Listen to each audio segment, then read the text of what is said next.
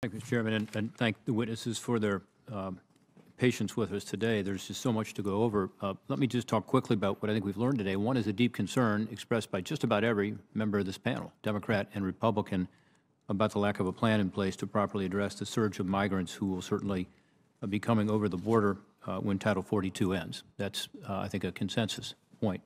Second, an acknowledgement that the asylum process is totally broken and that it acts as a magnet to draw people to the border and over the border.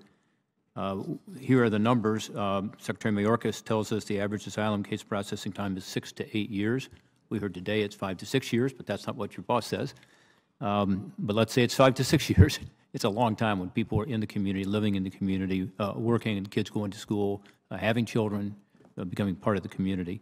There's a 1.6 million person backlog now on asylum claims being considered by the courts. 1.2 million people have gone through the process and received a final order of removal, meaning they should be deported because they were not successful in their asylum claim. And yet the administration has reduced the number of people uh, being deported. It's now 56,000 a year. That's about 4%. In the Obama, uh, Obama Biden years, it was 350,000 a year. Incidentally, under law, Section 235 of the Immigration Nationality Act, uh, there is a requirement for detention of unlawful migrants seeking asylum crossing our border without authorization. And yet, of course, we don't have the cap capacity to do that. This administration has reduced the number of ICE beds. We're now at 24,000 beds, much of which are already full.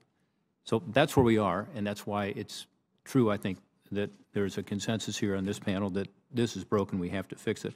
On the illegal narcotics coming over, uh, Agent, I appreciate the work your folks do. I was at Mariposa, the port of entry near Nogales earlier this year, saw the desperate need for more of these scanning devices you talked about to try to stop the fentanyl. The fentanyl is streaming in to our communities. It's coming in at such high volumes now that it's reducing the price because of supply and demand. A lot, huge supply, very inexpensive, and it is causing more deaths as a result. Uh, I'm a big fan of looking at the demand side. I've passed legislation, and it's working now on treatment and recovery and prevention, but it's impossible to deal with this flood and not have many more people dying of overdoses. We're at record levels right now. Here's the numbers that we have. Only 2% of passenger vehicles are being scanned. Only 17% of commercial vehicles are being scanned. That's it. And yet, that's where 90% of the seizures attributed to non-intrusive inspections uh, are resulting from. So this is where we're finding most of these narcotics. It's a huge increase. In March, a huge increase from the last uh, pre previous March, 300% increase from the previous March. It's at levels we've never seen before. And yet, think of all those trucks and cars that we're not scanning. So the question, Agent Huffman, is you know, how can we do better? There's a plan to increase that by the end of next year. And yet I look at the President's budget this year, there's zero in the budget for new scanning machines. So I guess my question for you is, are we on track at least to reach this number of 40 percent of passenger vehicles instead of 2 percent and 70 percent of commercial vehicles instead of 17 percent by the end of next year? Yes, sir, we are on track. Oh, sorry. We are, we are on track by the end of FY '23 to be, uh, to increase the scans, to scan uh, 40% of vehicles and, and the, uh, and the 72% of the commercial, commercial vehicles uh, respectively. And, and as you know, we certainly like to do more, and as we in, in, increase our ability to do so, we will do that. It's, it's, it's, it's key that we're able to look at, obviously, we'd like to look at every single thing that comes into the country if we have the ability to do that, because it's important to do that. And, and, there's no question that fentanyl is a significant threat to us. We provided the funding for you back in uh, 2019 to, to get to that number of 40 percent at least of cars, 70 percent of trucks, and we should provide more. But again, in the budget, there's nothing. On unaccompanied kids, uh, Senator also talked about this. Kids have been mistreated in the past, as we know. There's lots of stories about it, unfortunately. I got involved in this because of a bunch of kids from Guatemala. Six of them were brought up by their trafficker, went into HHS custody. Then HHS gave them to sponsors. Those sponsors were the traffickers, the very traffickers who have treated, had treated them so uh, poorly coming up from the border, uh, lied to their parents, and they took them to an egg farm in Ohio where six kids, as young as 14, uh, lived in deplorable situations, uh, underpaid, working six, seven days a week, not in school, and luckily a local authority found it, and this is one thing that got the interest of the Permanent Subcommittee on Investigations of this committee. Senator Carper and I did an intensive investigation. We've published three reports about it, and basically about the failure of the federal agencies to be responsible for the care of our unaccompanied kids.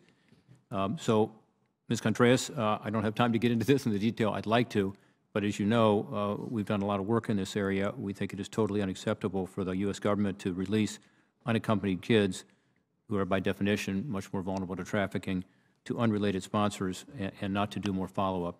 Uh, Right now, we are told that there is no follow-up after three phone calls and that we don't know where 19,000 unaccompanied kids are. We cannot determine their safety and well-being. Is that correct? Senator, thank you for that question, and thank you for your leadership on making sure that we keep our duty to children, and, and that includes post-release. Uh, what I would like to share is that the work that has been done to strengthen the post-release work, um, some of which you referred to, with which are well-being follow-up calls. Uh, there are home visits in place now if there are concerns raised.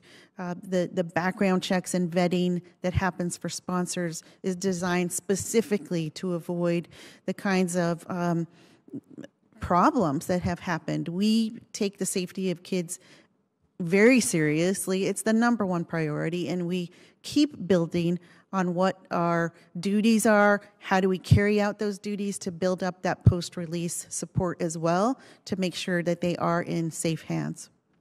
Well, there's a, a continuing issue, as you know, as to who has responsibility, and my hope is that HHS, uh, under your leadership, takes additional responsibility for these kids. Someone's got to be responsible for their care.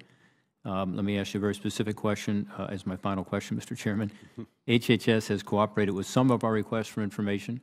We continue to do oversight on this issue, as you know, but we have yet to receive uh, re- documents that we have requested, and these were requested in January uh, in a letter to uh, HHS Secretary Xavier Becerra. Can you commit to ensuring that HHS sends the remaining documents uh, by the end of next week?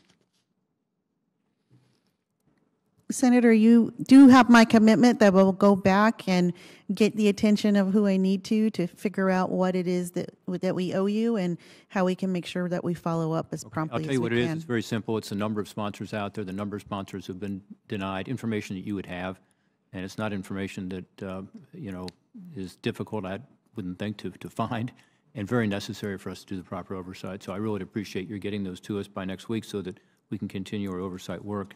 And again, to each of you, thank you for your service, and particularly to those of you representing people on the border itself, uh, you have an impossible task. Thank you for what you do every day. Uh, the American people are asking a lot of you. And I know it's very stressful, and I know there's been a difficulty in retention and and um, in recruitment, and um, we need to do everything we can to, to hold um, agent your people up right now because uh, it's hard already, and it's about to get a whole lot harder. And we owe them not just better policy in the administration, but better legislating, and, and we will continue to work on that. Thank you, Mr. Chairman.